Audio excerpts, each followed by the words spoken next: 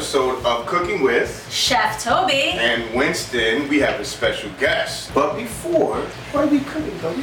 We are cooking a creamy summer corn soup with a basil oil finish on top. Man, I love the creamies. Yeah, And our guest is, once again, Ari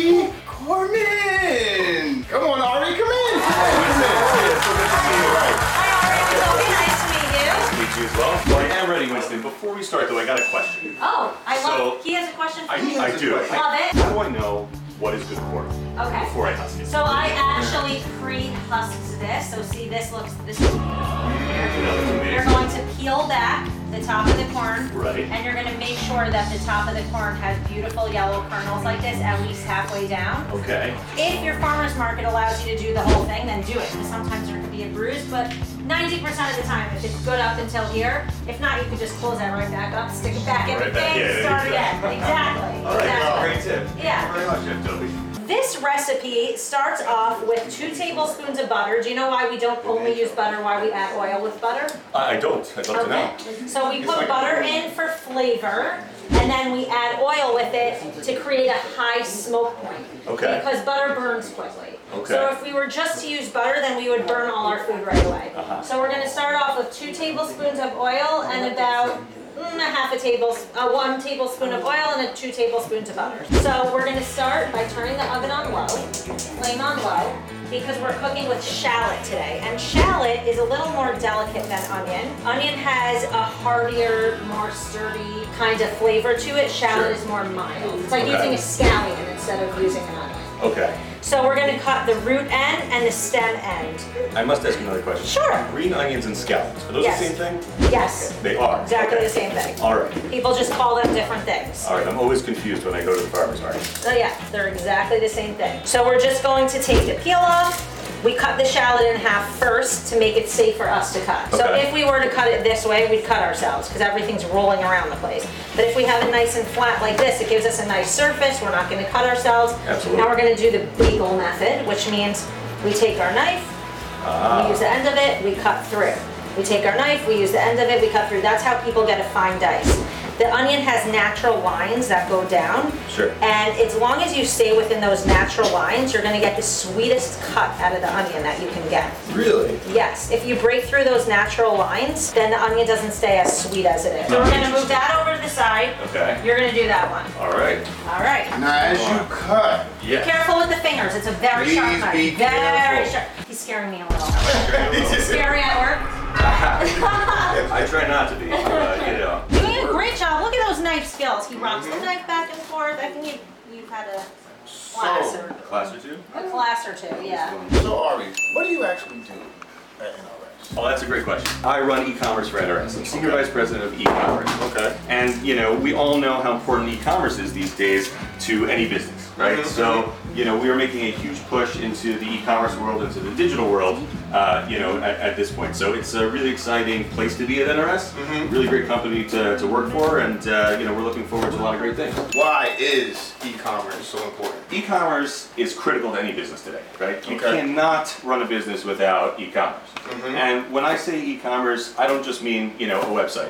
As we're standing here with Chef Toby, Chef Toby knows social media is really important, Yes. right? So Yes, I need it for business. Exactly. So, you know, you can't exist just in the physical world today. So you can't just have your local bodega, your local convenience store, and feel like that's enough. Okay. You need to exist in the physical world and the digital world. Mm-hmm. And we all know that, you know, even for a physical purchase, right? You're going to go into your local bodega and buy a soda and a bag of chips or something like that. You're still going to probably start that journey online. Okay. If it's a search, even if it's just like, um, you know, Google Maps to go to that store, or even if it's something like, I spoke to my friend, he just got a bag of chips, I was texting him on my phone. That's also a digital experience. Okay. So you need to merge the two, the physical and the digital together into what's commonly known these days as a phygital experience. Mm-hmm. And you can use that word anytime you want. Oh, phygital. Digital, Excellent. digital. I'm just Got it. writing Great, this great, down. great. So you got this digital experience that combines both worlds, and that's why e-commerce is so important today. So I'm gonna start cutting the corn here. I've cut, I'm gonna do a, a fresh one so you can see. I cut the tip off, same reason. We want a Okay. flat surface. So I'm going to get all of the kernels off of the cobs because in our cooking process, we also use the cobs. The cobs have what's called the milk of the corn in it, and it releases like a starch that thickens the soup. So I like to, I like to throw one or two of the cobs in there with the corn and the shallots, just to give it a little thickness and a little body. We're gonna put a splash of cream in at the end. Okay. That if you use a Vitamix blender, which not, not, not everyone has one, but if you do, it really makes it creamy without cream. But I add the cream in because most people don't have that blender, so you do need a little something at the end, just to make it creamy. Full body. So we're now going to season since we added the corn, and now we don't care if we draw any water out because we're in the soup process now. Got it. So we can draw water out at this point. We wanted the certain flavor that a browned onion gives. Is that platform, like the, when we make that, that bond, is it reasonably priced? Today, there are tons of solutions for just e-commerce. There are POS solutions. There are, you know, solutions that only do some e-commerce things. It's very confusing. It's a very confusing market. So like we talked about before, one-stop shop, out of the box. You are literally able to, you know, order your POS, you receive it, take it out of the box, and you're not only selling in your store, but you're selling online within an hour. That's really important to remember. So from a price perspective, you know, we are probably the cheapest in the market Wow. for all of our e-commerce solutions. You know, I'll give you a little uh, kernel of a story for a second here. kernel. Yeah. Tie it into the food. All right, that corn, that was actually a perfect answer, because the corn looks fully cooked. We're going to add three cups of vegetable broth. If you want to keep it um, not meat, if you don't care, you can add chicken broth. So that's two. I purposely did that um, because I wanted to show you. If you ever run out of broth, these box broths have so much flavor. You could just do water for the last cup. Really? Yes.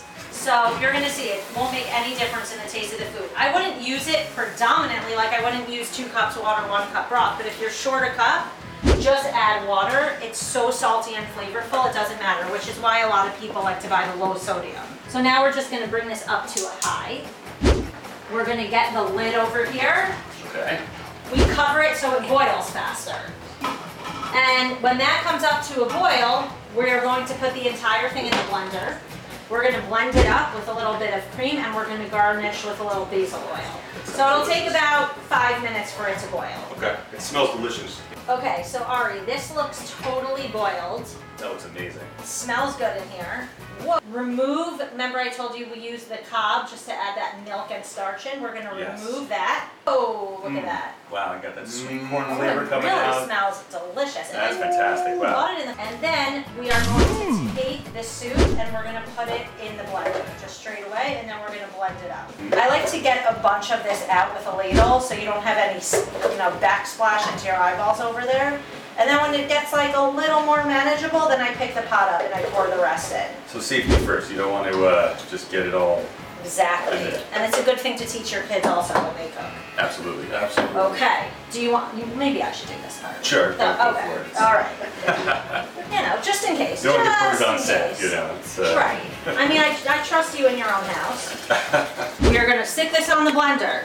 Okay.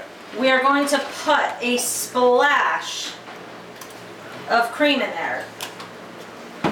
And we're gonna get this going.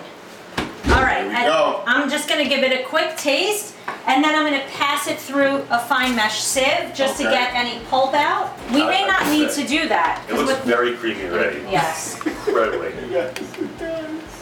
it needs a little salt in my opinion. Mm-hmm. We love the salt. We do. A little. Literally. Just a, little. pinch. Just, a pinch. There we go. One more quick little blend. Over here. It doesn't need to go, because we use the Vitamix blender, it doesn't need to go through the fine mesh sieve. If you use any other blender in the world, you really have to pass it through because it won't pulse the corn kernels out. Sure. So it's still merchant, right? Why NRS e-commerce? NRS e-commerce, like we said, is that full stack solution. And what we're here to do is provide all the tools that a small business owner, an independent uh, shop, bodega, tienda, whatever it is, we're here to provide whatever they need.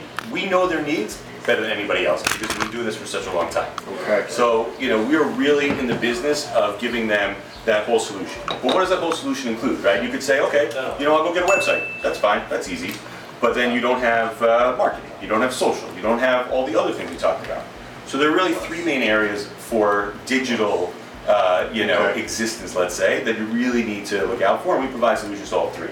Selling online, marketing online, engaging online. Very important. So what we're doing right here, right now, we're engaging online. Yes, we are. Engaging a lot of I love that. people So we online. be And we're, engaging? and we're eating all And we're eating online, exactly. That's So- number four. We don't provide number four, but we provide the first three. I know Winston like to eat. Well, I will tell you though, number four, eating online. People love watching people eat People- online. exactly. That's like the thing. This is a very true thing. And we also provide delivery, so if you wanted to eat, you know, you could order online. But that goes back to number one, selling online. So we provide solutions for you to be able to sell online with no delivery cost to the merchants, Okay. their own website, market online through uh, Find My Biz and Manage My Reviews. So you get online listings, you get managed reviews, so, you know, we know exactly what Google wants to hear in a review response. We will provide that for you. And engaging online, we give you the ability from one portal to post to Facebook, to post to Google, soon to Instagram also, maybe even to X, maybe Twitter, whatever it might be. Mm-hmm. We give you that 360 degree solution. So, you know, you get your POS from us, you get your hardware, you get your software out of the box, you're selling online in an hour, and you're talking to your community because they're not just coming into your store anymore, they're engaging, they're talking online, just like we are going to be when everyone sees it. Man, man, man. So what did we learn today? We learned we hit all four corners. I love that. So everyone, take a soup. There's some three spoons over here. Fantastic. So I just finished it off. I took fresh basil, olive oil, and a little garlic, whisked it up in the blender, and that was our garnish. Mm-hmm. So you can choose not to garnish if you don't want to. You can choose, but I think it gives it a little something, the basil. So cheers, everyone. Cheers. Mm, good. That's fantastic. Wow. Get a hint of that basil as it comes through. Yeah. Sweet corn. Yes, you should be a food Love it. critic. Yes. I will say this is a great, you know, summertime, light summertime Yeah, it's a soup. great soup. But it's also still hearty, so you got this heartiness to it, you know, for a late summer evening. Fantastic. Thank you, and Chef it's easy Toby. to make. Thank you for coming, Ari. Thank you, Ari.